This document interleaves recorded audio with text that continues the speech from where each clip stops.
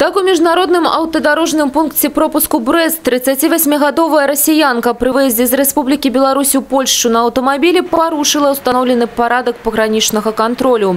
Гэта выявілася ў пакіданні 50 еўра ў пашпарце, які быў прад'яўлены пагранічнаму нараду.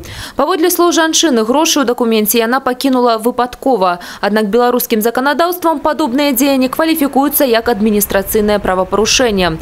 За парушэнне рэжыму ў пункце пропуску праз дзяржаўную межу Беларусі жыхарка горада Зернаграда атрымала адміністрацыйнае пакаранне ў выглядзе штрафу без дэпартацыі. Брэская пагранічная група нагадвае ўсім, хто плануе перасякаць дзяржаўную мяжу аб неабходнасці перад праходжаннем пагранічнага кантролю загадзя вызваліць дакументы ад вокладкі і любых укладанняў.